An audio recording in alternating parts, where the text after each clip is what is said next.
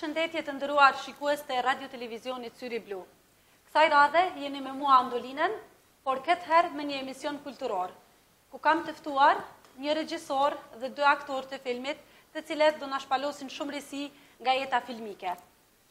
Pa humbur kohë, do i prezantoj edhe mysafirët që janë këtu dhe shpresoj se do të kënaqeni me materialin që kemi përgatitur për ju. Përshëndetje, mirë se erdhët. Mirë se gjetëm. Mirë se gjetëm. Kësaj radhe kemi të ftuar zotri Valton Jakupin, zotri Naski Abdixhikun, dhe zotri Shukri Ademin. Valton Jakupi, regjisor i kinematografisë filmike dhe vizionare me interes të thellë në forma shprehëse vizuale për publikun shqiptar dhe të huaj. Regjisori Valton Jakupi është me prejardhje nga fshati Tërnovc, komuna e Bujanovcit, i cili jeton aktualisht në Zvicër. Pas sukseseve të premierës së filmit Romanca e hidhur në vendlindje dhe premierës e cila u mbajt në Zvicër, pas projektit gjigant të pastaj vjen projekti gjigant i mbretit Skënderbeu, i cili sipas informatave fillon në muajin shtator të xhirohet. Tani është dhe skenari i gatshëm për të zhvilluar edhe filmin e radhës, i cili ka një kod. Mirë se vjen në Radio Televizionin Syri Blu, filmi i radhës, i vuajtjev, apo i harejes?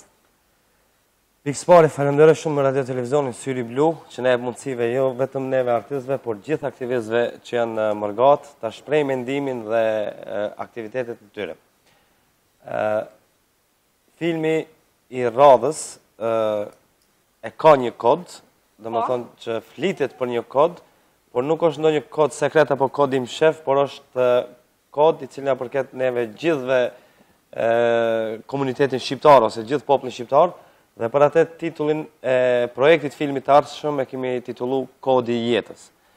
Që me këtë titull, mbrenda këtij titulli, mshihet domethënë, ose trajtohet një temë, e cila është problematike te kombi shqiptar, sepse, siç kam cekur dhe ma herët, gjatë projekteve filmike kam dëshirë që t'i rrahi temat negative te kombi im, që nëpërmes filmit të japim një mesazh për pjesët negative që së paku t'i përmirësojmë ato, posaçërisht edhe skenari i këtij filmit është punuar në atë mënyrë, që është titulluar Kodi i jetës që ka shumë çka që mshifet brenda kodit jetës. Këtu pranë nesh kemi edhe skenarin e filmit të radhës, pra filmit Kodi i nderit, i cili ka shumë fletë këtu.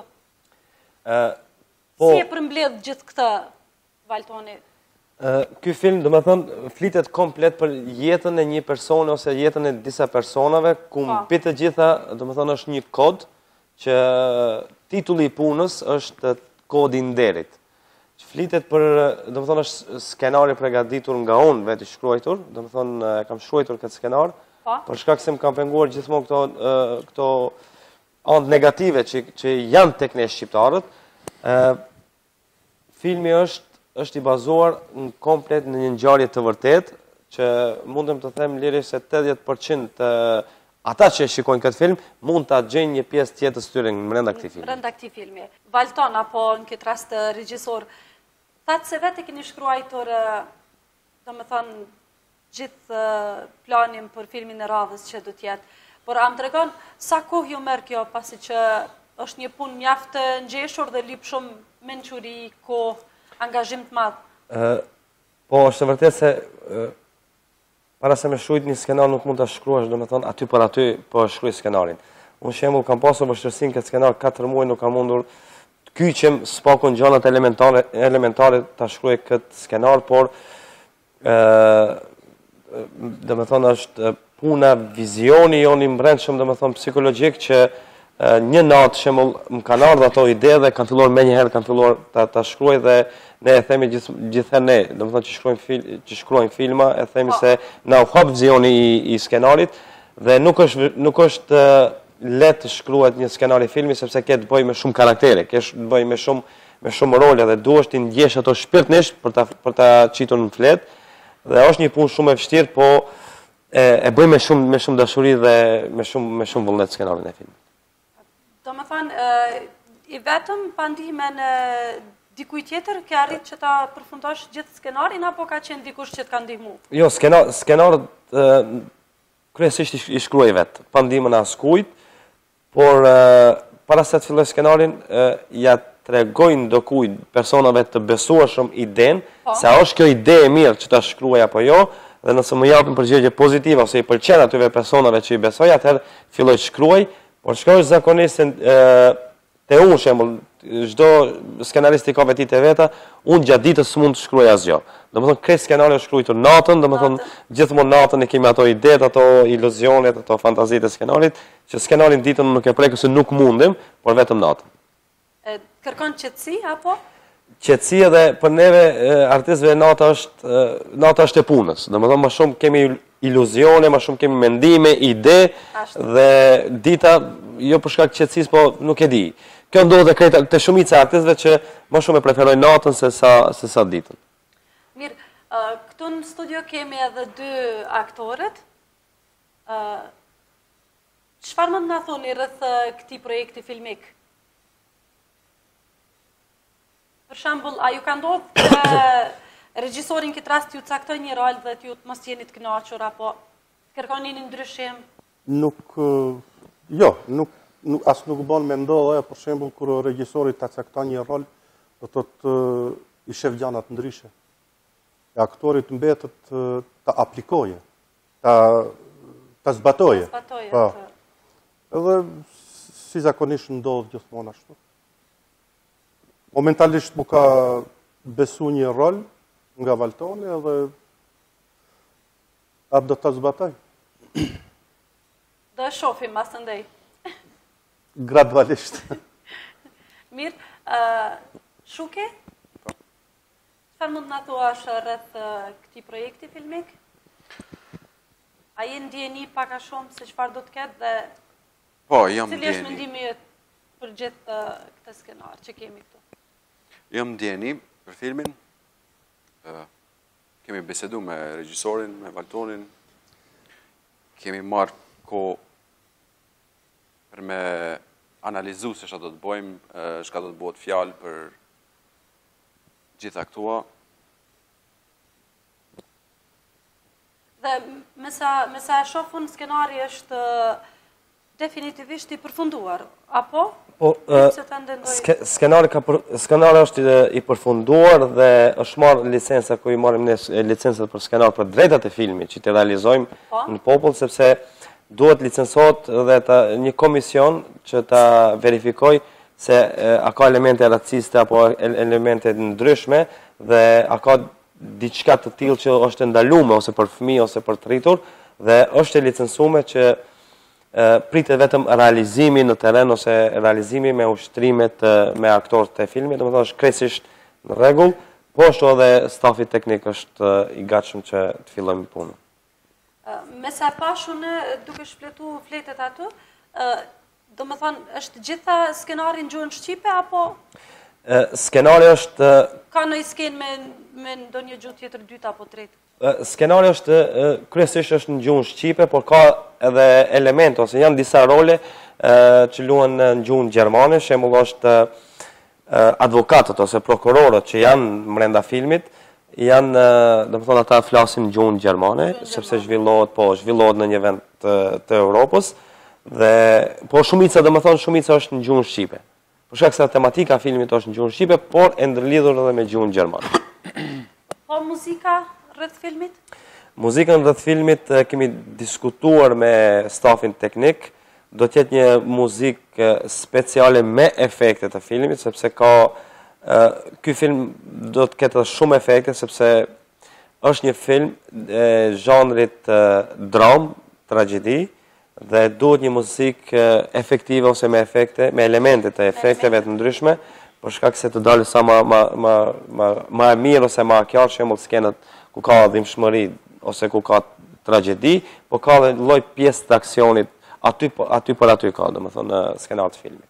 Po, isha ndalur edhe tek Naski dhe Shuki me këtë rast, pres një përgjigje nga ju të dy. Muzika, a mendoni se e ndreq edhe ma shumë rolin, përderisa edhe një muzikë shkon ashtu përnjëherë, me atë çka zhvillohet në aktrim? Unë mendoj se po. E rregullon E bën që të jetë më shumë e po. ndishme? Po. Mendoj njëjtë si tha Valtoni. Aty ku është tragjedi, domethonë e kupton bazë po. muzikës që vjen një tragjedi ose aty ku është e dhimshme që i thojmë na, është diçka muzika ma ndryshe. Ma ndryshe. Domethonë ia vlen me pas muzikën normal. E, nuk diskutohet, është për shembull tonaliteti i muzikës, masanej ritmi i muzikës, që filmit i japin me efektet e muzikës nënkuptohet skena çka do të ndodhë, paraprakisht, po. pritet diçka e mirë, apo pritet diçka e dhimshme, ose gjithsesi muzika... Jo? është një paralajmërim, apo jo? Edhe duhet patjetër të jetë muzika në film. siç ndodh në gjitha filmat. botën e filmit. Po. Po. Ok, përderisa ne flasim për skenarin, flasim për, për filmin, muzikën e tjera, a na tregon pak a shumë se ku do të zhvillohet ky film? Filmi do të zhvillohet 80% dikun në troje shqiptare, nuk po e zbulojmë vendin se ku, por dikun në troje shqiptare, në Kosovë, në Luginë, apo Shqipëri, apo në Mal të Zi, dhe 30% ose një pjesë shumë e vogël do të jetë në në vendet europiane. Domethonë sidomos në Zvicër ose Gjermani, po ndoshta edhe ndonjë qytet ose shtet tjetër të Evropës, por shumica e xhirimeve do të jetë atje në një vend shqiptar, sepse flitet për një traditë ose për një për një problematikë që ndodh brenda shqiptarëve. Po, pikërisht për këtë dhe ka duhet duhet po, kodi i nderit, po. Po. Okej. Okay. Ë, uh, domethënë, uh, a ke aktorë të preferuar që janë në film? Ë ky film në këtë film do të ndryshojë stafi i kastit të aktorëve, domethënë nuk do të jetë si si herëve të kaluara, ë një herë për një herë ë aktorë të caktuar, domethënë të filmit dhe që gjithherë i kam pasur afër, edhe qoftë në lloj-lloj ndihme, domethënë është aktori Naske dhe aktori Shukriu, që gjithëherë i kam pas në ndihmë, domethënë krah të djathtë i kam pas të projekteve filmike dhe tek ta kam shumë besim të madh që i realizojnë gjitha rolet të cilat i caktojmë ne. Ia kanë arrit. Ia kanë arrit. Po në atë rol që ju ke. Unë i besoj shembull, i, i besoj shembull, i besoj këtyre dyve, i besoj Dhe nuk lodhem shumë se si do ta luajnë, a do ta luajnë rolin mirë, apo do ta luajnë, do ta luajnë, domethënë, me elemente të dobta, sepse... Ke një vlerësim... Vlerësim shumë pozitiv, sepse edhe në jetën private, domethënë, qëndrojmë së bashku dhe konsultohemi gjithherë, gjithherë mes veti, po ashtu, ky film do të, të përbëhet prej 70%, 70-80% të aktorëve profesionalë nga Kosova dhe Maqedonia, kryesisht aktorë të posadiplomuar nga Akademitë e Arteve, por do të ketë fytyra shumë të njohura të kinematografisë të Kosovës, që do të ndryshojë tash prej filmave të tjerë.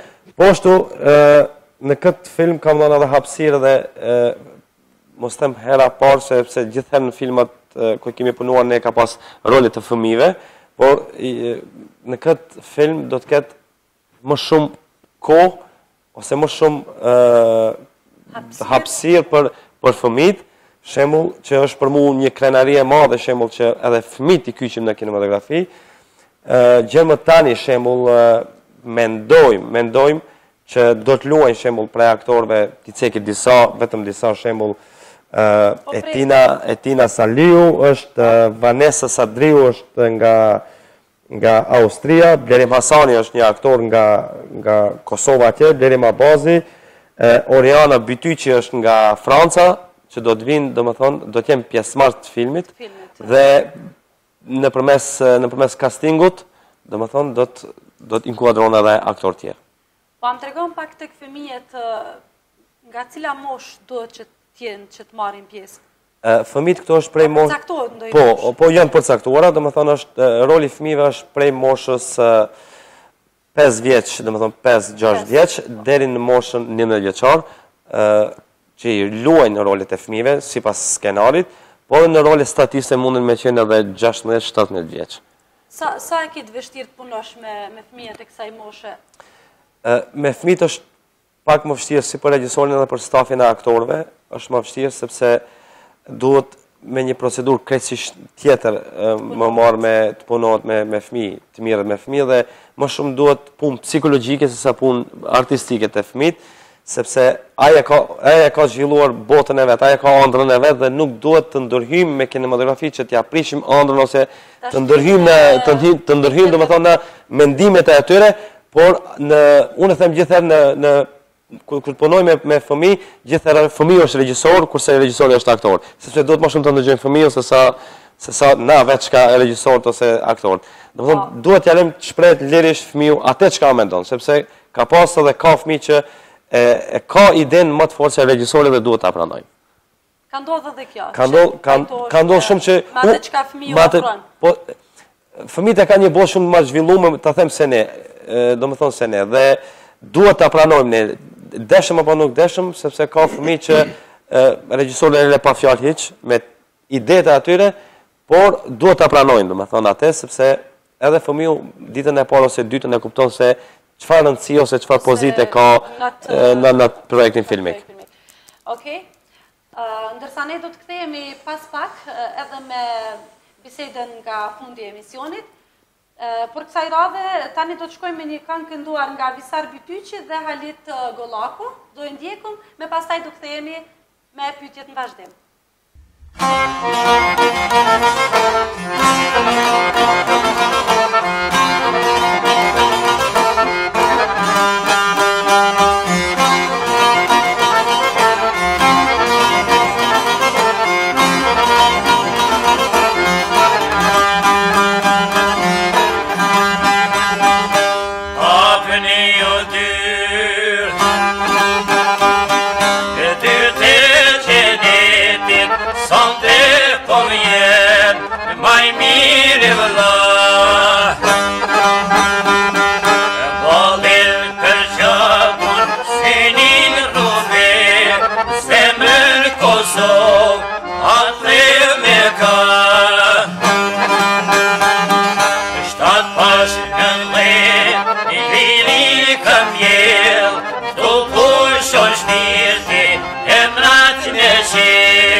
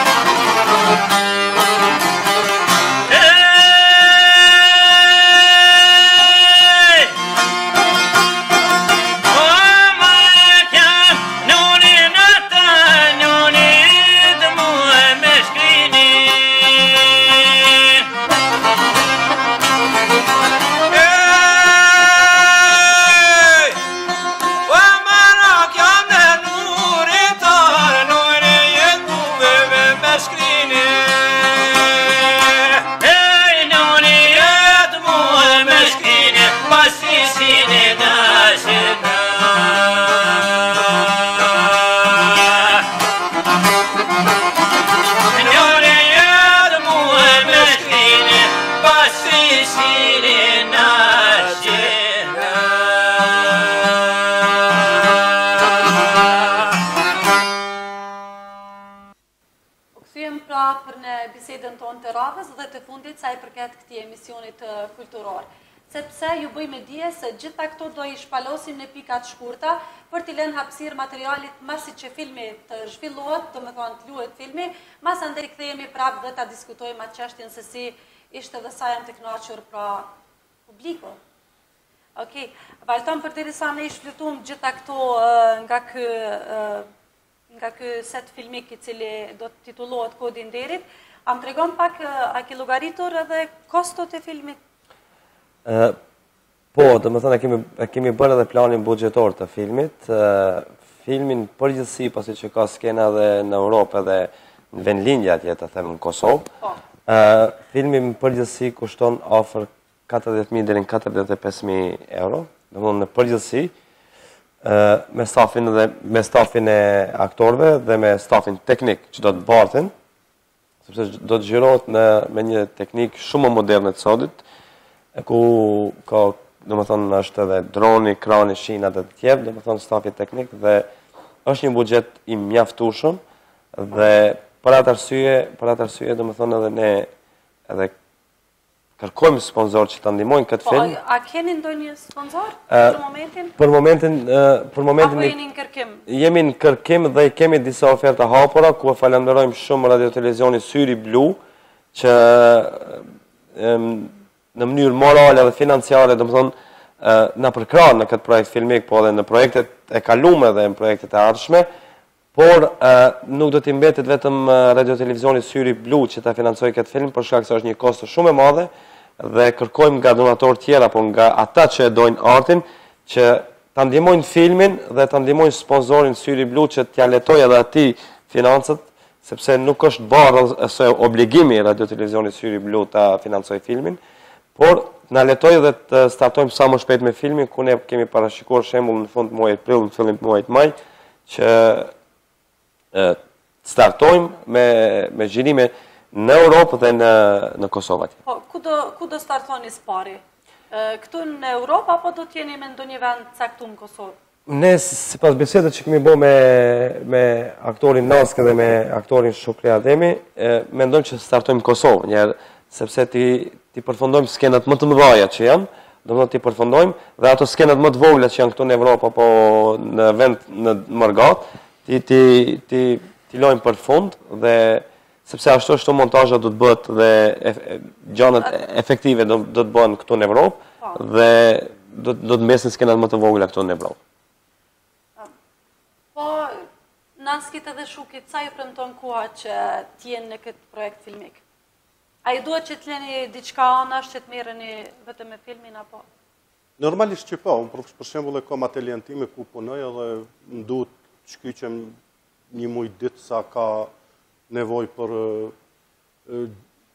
xhirimin e skenave të filmit. Domethonë, komplet një muj të angazhum direkt vetëm te ky filmi? Normal po. Normal po. Nvaret si shkojnë në rjerë, që si rjerën po. gjanat, për shembull gjatë xhirimeve, stafi teknik një në tje, tre aktorë të zgjatë një muj apo dy mujë, gjithçka nvaret. Edhe nga roli, se të një të saktu po. sa lipë që të kopër një aktor. Gjithsesi. Po shuke? Mesta, e di rolin të mund, unë mendoj se xhirimet i kam veç në Zvicër, e di se jam veç në Zvicër, dhe thonë, unë se kom pa tjetër, më konë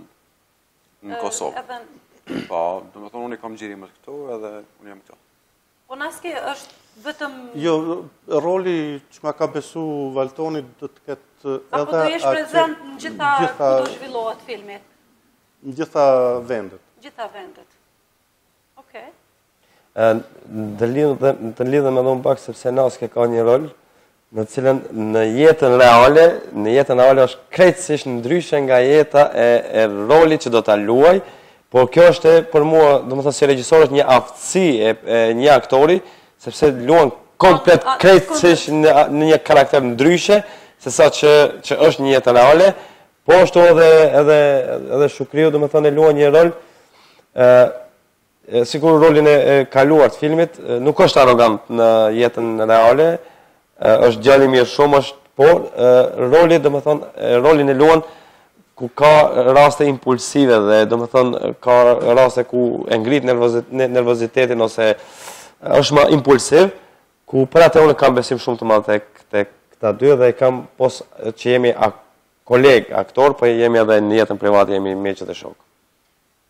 Mirë, unë sa i përket gjithë kësaj, ne i shpalosëm pikat e shkurta dhe nuk kam dyshim vetëm ju uroj shumë sukses.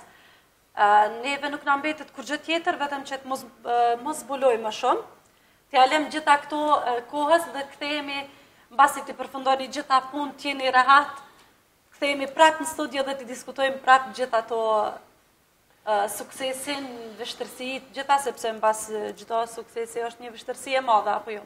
Po, e vërtetë është. Për atë edhe them gjithherë se Radio Televizioni Syri Blu ia jep mundësinë të rinjve ose aktivistve ose aktorve, pa marrë parasysh artistve në përgjithësi, që t'i shprehin mendimet e tyre, Dhe pasi që është i vetmi medium në gjithë mërgatën dhe në gjithë diasporën shqiptare që unë e quaj gjithherë ambasada shqiptare, nuk kemi ka të shkojmë përpos këtu, vijmë t'i shprehim mendimet tona. Shumë faliminderit, unë ju falenderoj që ishit këtu prezent në emisionin tonë kulturor. Por thashë nuk do e lëmë me kaq, do të ktheheni prapë, mbasi ta përfundoni gjithë projektin filmik. Faleminderit shumë, Epi. Faleminderit shumë prej syrit blu. Faleminderit shumë. Të nderuar shikues, ishte pra kjo e tëra çka përgatitëm sot për emisionin tonë kulturor. Ne do të shihemi edhe me projekte tjera dhe me mysafirë të tjerë. Do i lëmë gjitha këto kohës. Deri atëherë, mirupafshim.